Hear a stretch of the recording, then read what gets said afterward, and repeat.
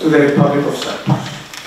I call on His Excellency the Ambassador of the, Republic of Korea, Mr. Yoon Il Lee.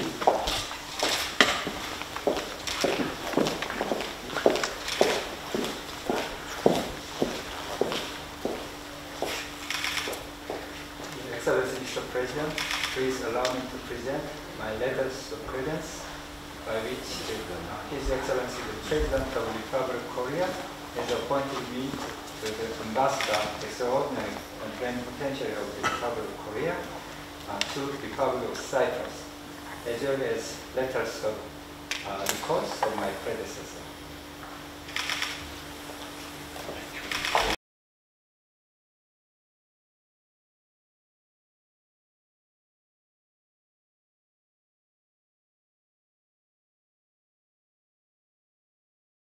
Ambassador of the Lao People's Democratic Republic, Mr. Latsami Kiomani.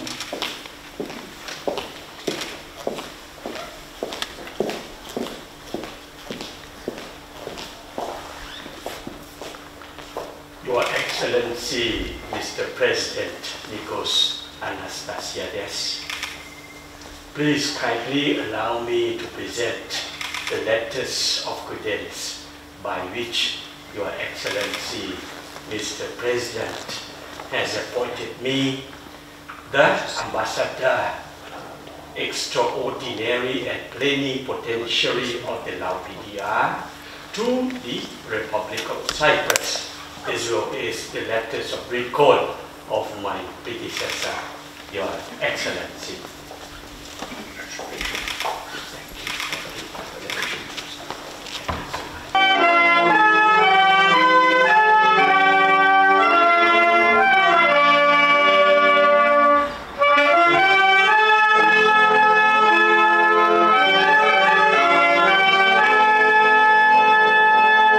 The Ambassador of the Kingdom of Cambodia, Mr. Tai Chu.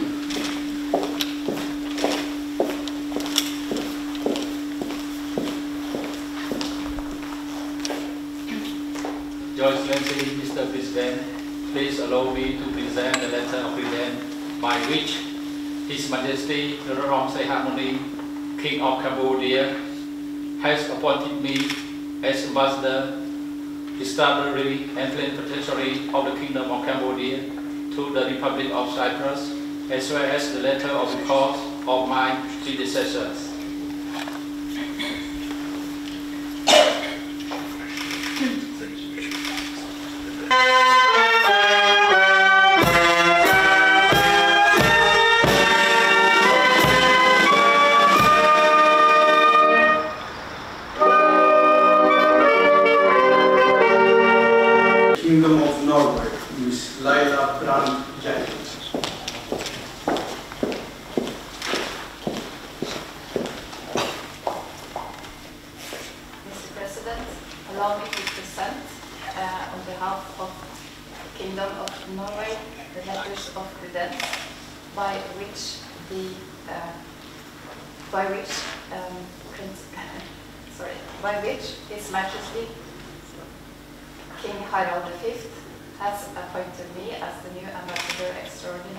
And Plenipotentiary to the Republic of Cyprus of the Kingdom of Norway, as well as the letter of recourse of my President.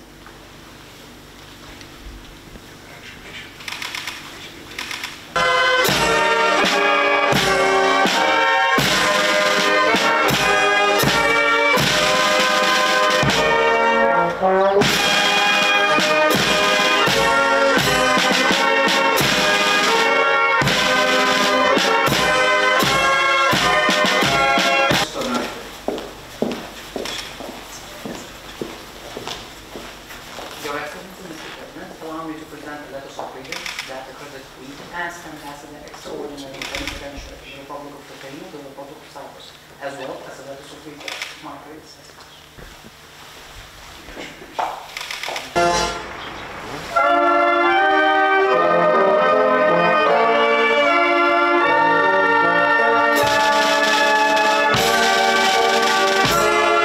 Ambassador of the Republic of Slovenia, Ms. Tamara Weingerl Požar.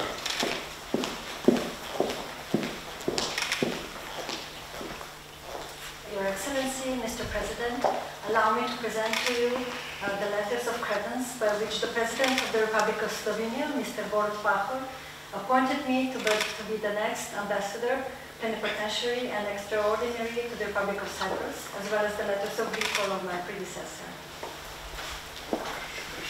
Thank you.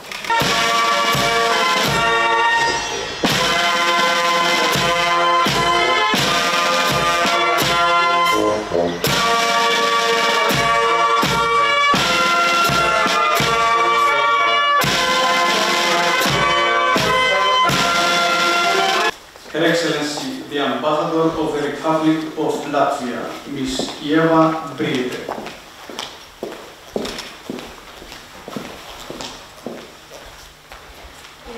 Mr. President, allow me to present you the letters by which uh, the President of the Republic of Latvia has appointed me as the new ambassador of extraordinary and plenipotentiary of the Republic of Latvia to the Republic of Cyprus, as well as letters of uh, recall of my predecessor.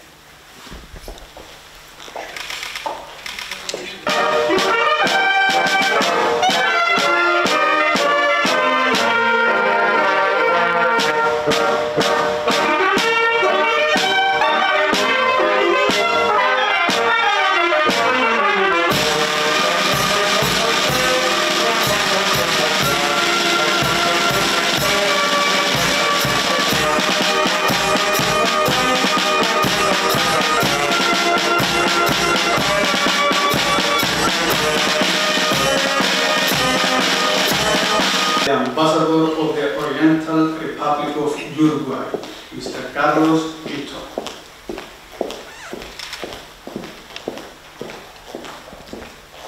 Excellency, Mr. President, uh, I bring to you the letter of credence uh, to appoint me as a, a new ambassador of Uruguay, signed by the President of Uruguay as ambassador extraordinary and plenipotentiary to the Republic of Cyprus, as well as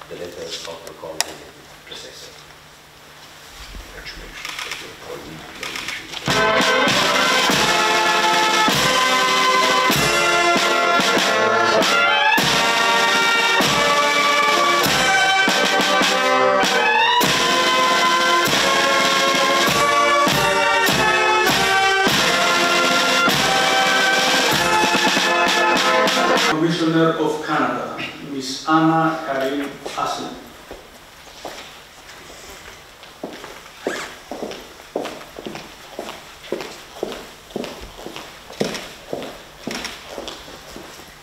Your Excellency, Mr. President, allow me to present the letters by which Her Excellency, the Governor General of Canada, has appointed me High Commissioner for Canada to the Republic of Cyprus and the letters of recall of my predecessor. Thank you.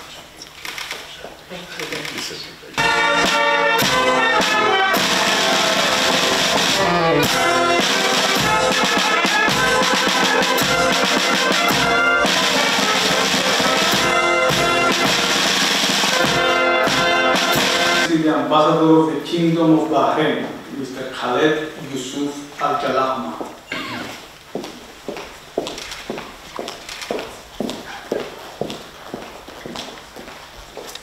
Your Excellency, Mr. President, allow me to present my letters of credence by which His Majesty, the King of the Kingdom of Bahrain, has appointed me as Ambassador Extraordinary and Plenipotentiary of the Kingdom of Bahrain to the Republic of Cyprus, as well as the letters of recall of our predecessor.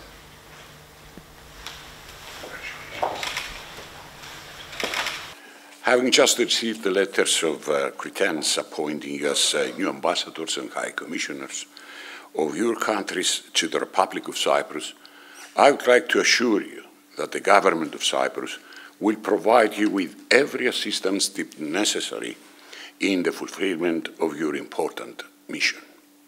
Cyprus ascribes great importance in further advancing our bilateral and multilateral cooperation and extending it in a vast array of uh, new fields uh, for the mutual benefit of our countries and peoples. To this end, I am certain that with your valuable support, positive and concrete results will be achieved. In the midst of uh, the ongoing war in Ukraine, we underline the need to strengthen our cooperation and join action with partner countries in order to address complex geopolitical challenges.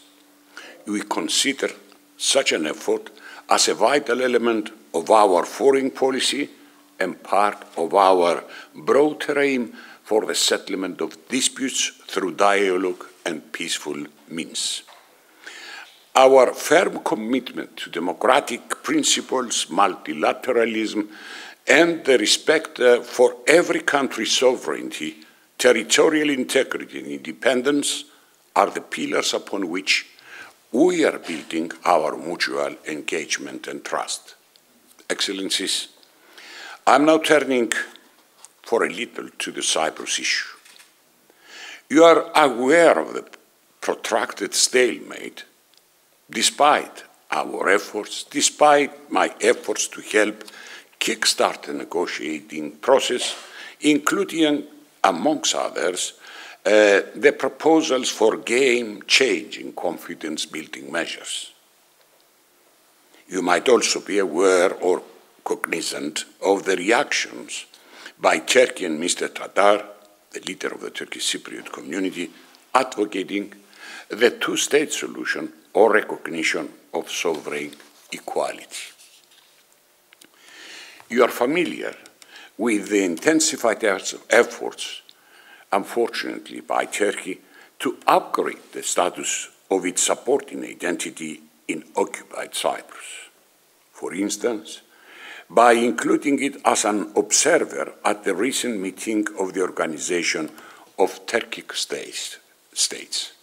I must point out that, uh, to its credit, the European Commission immediately rejected the Turkish move that manifestly violates UN Security Council resolutions and the UN Charter, while also severely damaging the efforts to create an environment conducive to resuming settlement talks. Besides, there is no doubt in my mind that in spite of the current difficulties and provocations or aggression acts by Turkey, a comprehensive and viable diplomatic solution based always on a federation or uh, a bizonal, bicommunal federation with the features as set out in the relevant UN Security Council resolutions can still be within reach. Let me quickly remind you that on 17th November, I held a constructive meeting with the UN Assistant General Secretary Miroslav Jenča.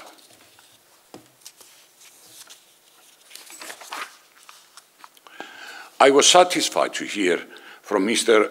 Jensen underlying the UN Secretary General's, and I quote, commitment to stay engaged in the process of reaching for common ground, of searching for common ground and finding understanding to move forward the issue of the settlement. That is why we insist for the UN Secretary General to appoint a new envoy for Cyprus.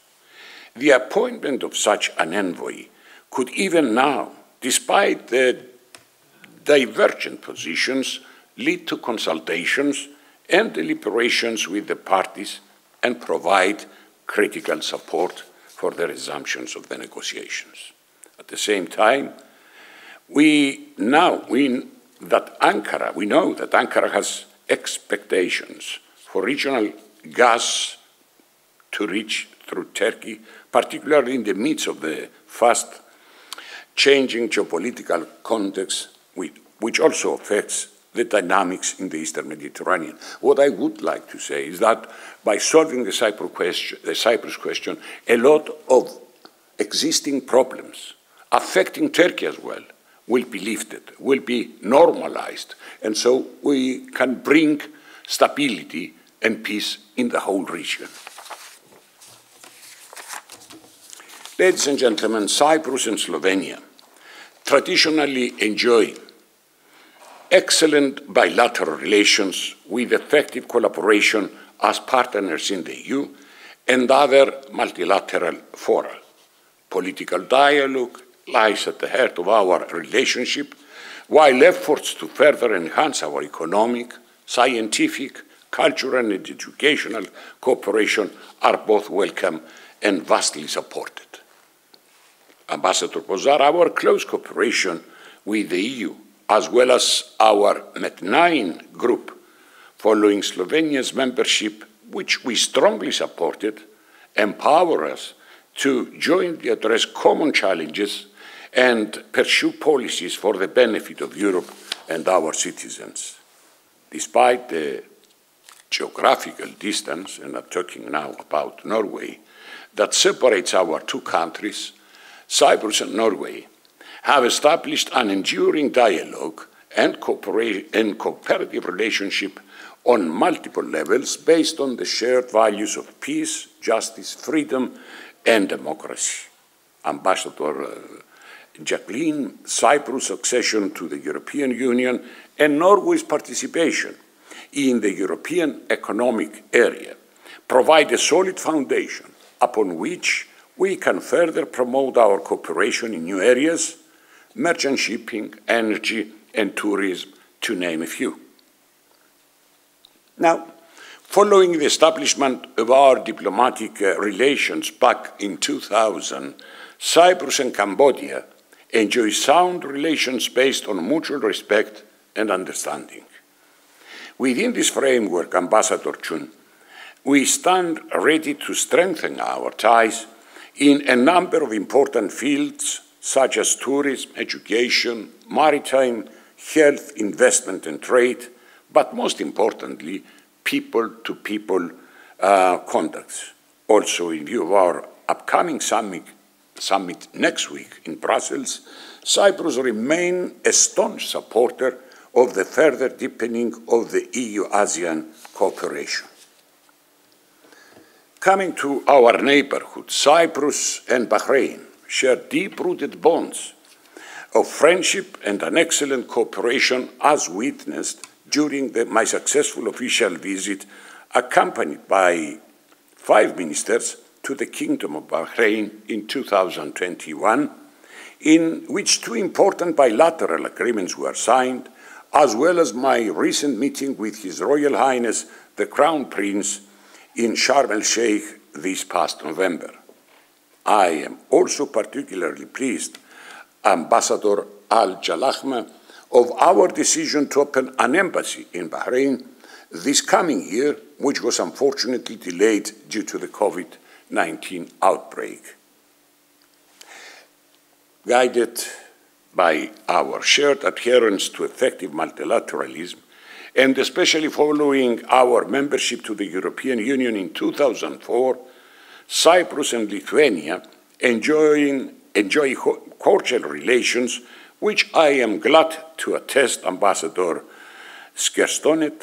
Uh, I'm not sure if I'm correctly pronounce your name, but uh, it's the same happening with my name, which is like a train whenever uh, they are trying to pronounce it, they are saying Anastasitis um, or a lot of things, but I understand that they are talking about me. So, Excellency, forgive me, I have done a mistake in pronouncing your own name.